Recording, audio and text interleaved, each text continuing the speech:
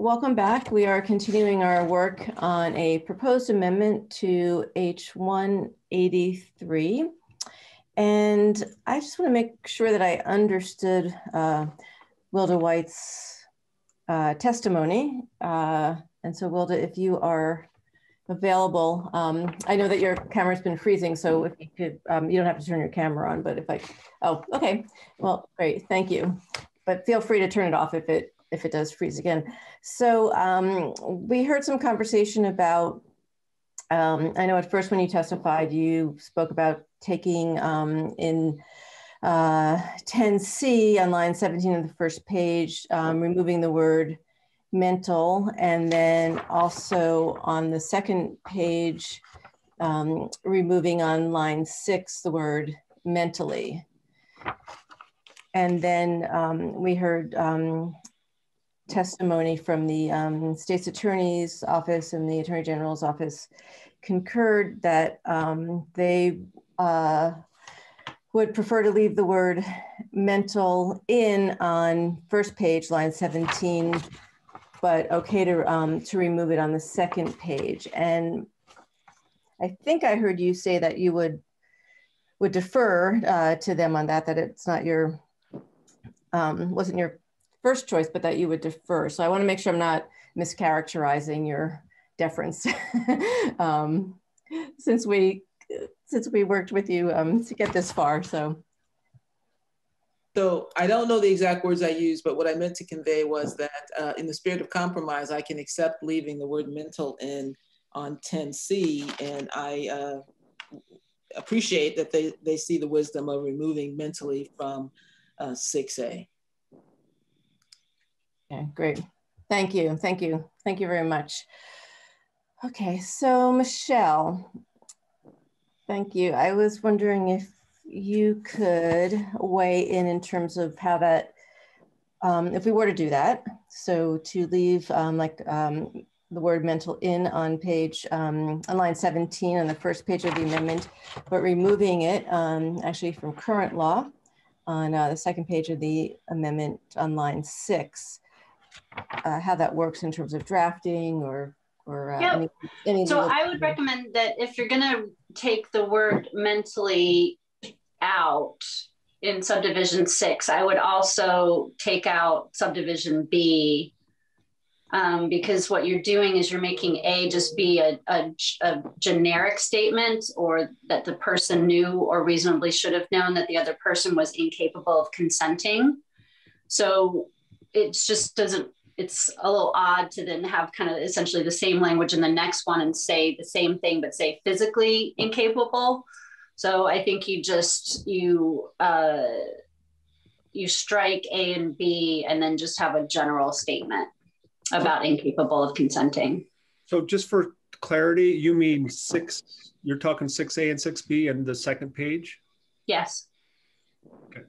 Yep and, and, and also for clarity, did you say strike 6A and 6B or just 6B?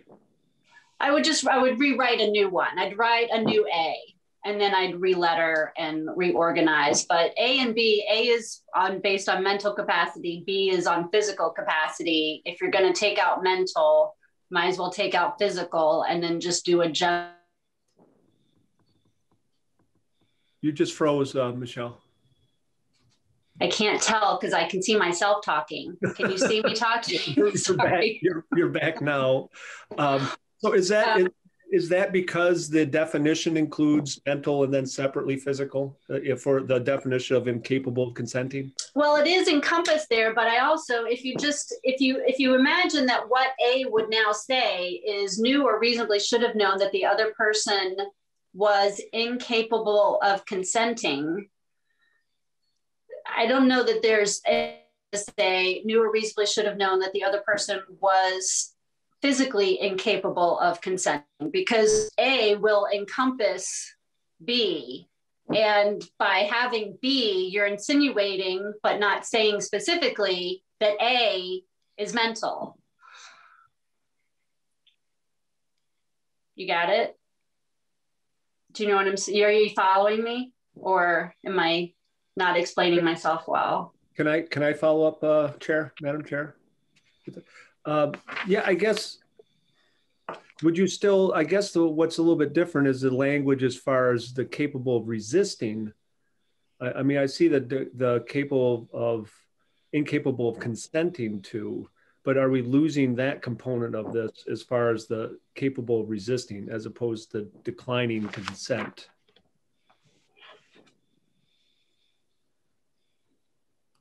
Um,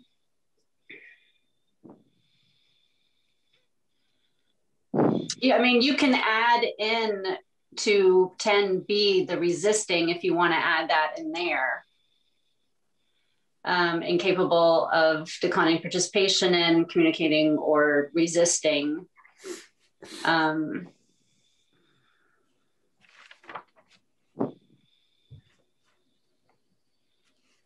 I mean, I would say that the under the existing under 6B there, the way that it's drafted now,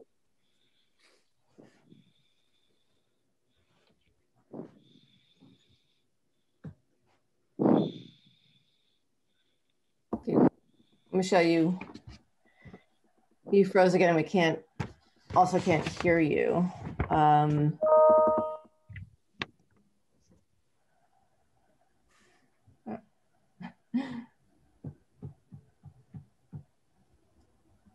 we lost Michelle.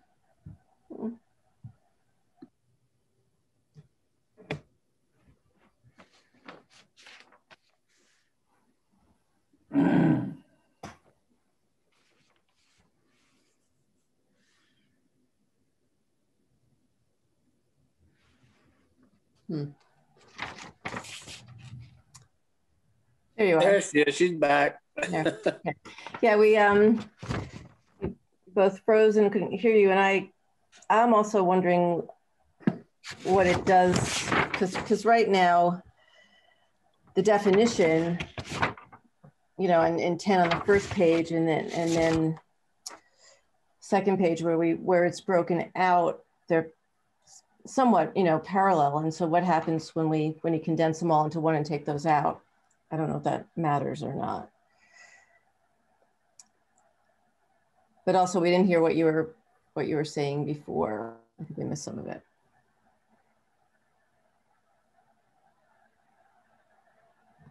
Can't hear you.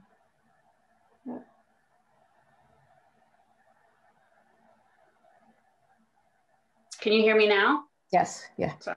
Um, sorry, my internet keeps going in and out. I can go yell at my kids to get off their devices if it happens again.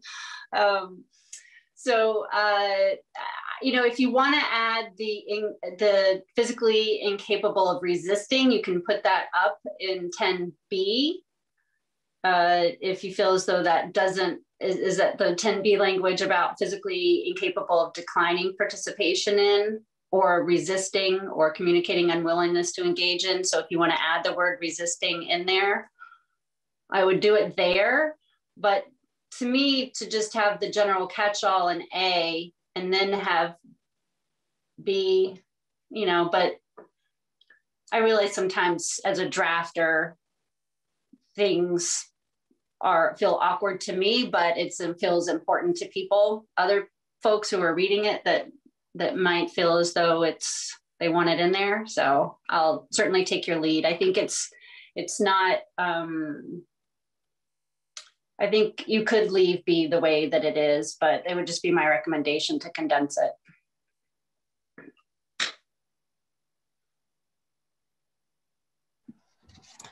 Okay, thank you. Um, no, if um, see state's attorneys, uh, Rory, I don't know if you have any have any thoughts. We could also let Michelle draft it and actually have something to look at, which might be easier, but just in terms of prosecuting cases.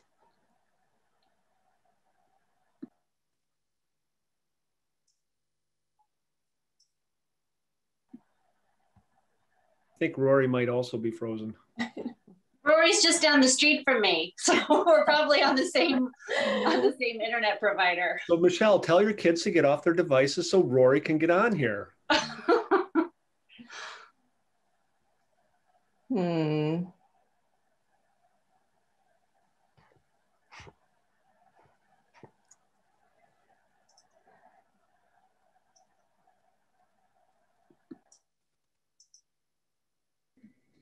So, so if uh, Michelle, if it's redundancy that you're worried about, the the other option, if we get rid of mentally, and just have A six A as a catch-all, is just to strike or declining consent to, um, and leaving B in there just for that physical resistance as opposed to the declining to consent, you know, to be able to communicate consent. I don't know. I, would rather hear from Rory, but that would be one other option. Sure. Yeah, I think it distinguishes it enough that you could do that as well. Because I, yeah, I, I see that the resistance is a little bit of a different animal than than declining participation, be it uh, because you're mentally or physically unable, and that's really what 6A seems to be going mm-hmm. through where physical resistance is a little bit of a different animal. But again, really defer to where Rory is on this. Thank you. Rory. So I apologize. I just had some connectivity issues and had to reset.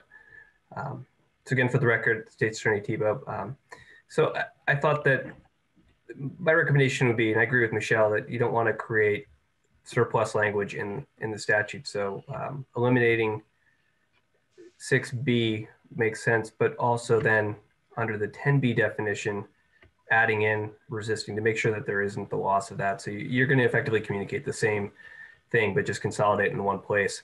Uh, what it really does is it makes 6A just a cross reference back to all of the 3251 10 definition, which um, I think provides then again one one place rather than two where we're uh, expressing what the standard is.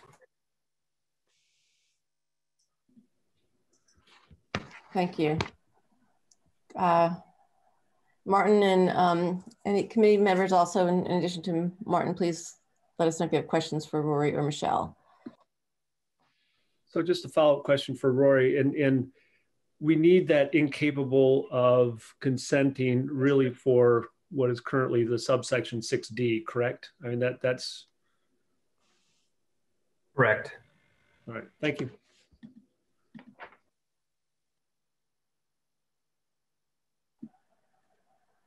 Okay. Any um, any other questions? Committee members. Uh, Wilda, did you have a? Make sure you don't have a, a question. I don't have a question. I, I okay. think the bill continue to get continues to get better. So. Okay. Great. Well, thank you. So, how about Michelle? If we um, give you a chance to to draft this, so that way we have something to look at. I think it's easier.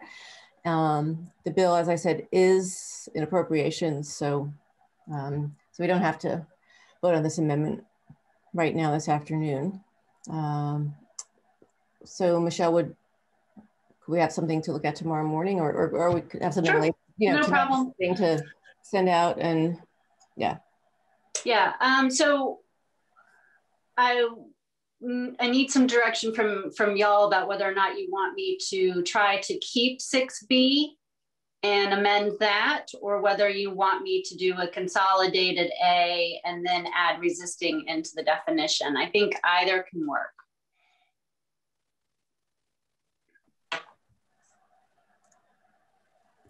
And I don't know if Rory heard uh, Martin's question on that, um, but I Rory. No, Rory. okay. Yeah, unfortunately, when um, Representative LaLonde was speaking was when I, I, cut out, and so I didn't hear some of that until I reconnected. I, I apologize. Um, I, I, had sent him a message in the beginning of the conversation of uh, what I thought uh, the fix could be. Yeah, I'm good either way. My, my suggestion, Rory, just was if you kept 6B, uh, you would just strike or declining consent from, uh, be line nine on page two. And then 6B would really be about the physical resisting. And then the 6A would be about really the ability to consent, be it because of physical uh, or, or mental uh, issues. But I'm, I'm certainly fine with either, either way. I think that makes sense, and it might actually be then less um, less heavy editing on what's presented. it's less it's less editing, but I guess what I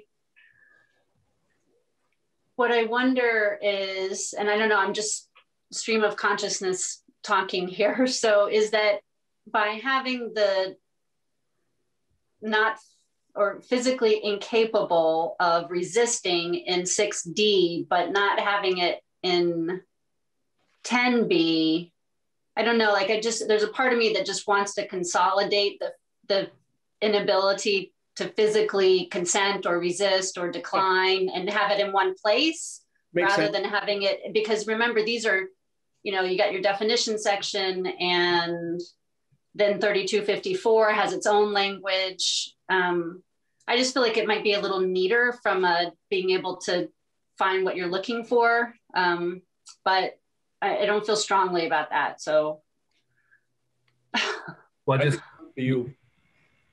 I, yeah, I would say that uh, I'm a practitioner. Uh, Michelle is the uh, legislative construction expert, and that is a much more, uh, that is a really compelling reason, I think, to do as she just suggested. Okay, great. Thank you. So, so why don't we do that? And then, um, and then Michelle, let us, um, you know, let us know when, when you have something and we can get it posted. And yeah, I'll work on it um, a little later this afternoon and I'll get something out to um, Evan either tonight or early in the morning. So just, uh, and I do have um, some time. I don't know what your schedule is tomorrow. Um, but my schedule's been moving around a lot and I do have some time at the beginning of the morning. Um, uh, so uh, anywhere, I think from 9.30 to 11, so. Okay, so yeah, I think it would be more around the 10.45ish um, because we have a, an out-of-state witness that is uh, presenting at nine, so. Yeah, I think I'm going up uh, I still say up, but um, I am going to appropriations with uh, Selena on 183 at 11, but um, but as long as we could knock it out before then. Okay. Yeah. Why don't we do it at? Uh, actually, why don't we say uh, 10:30? Does that work? Works for me. Great. Evan, would you mind sending me an invite?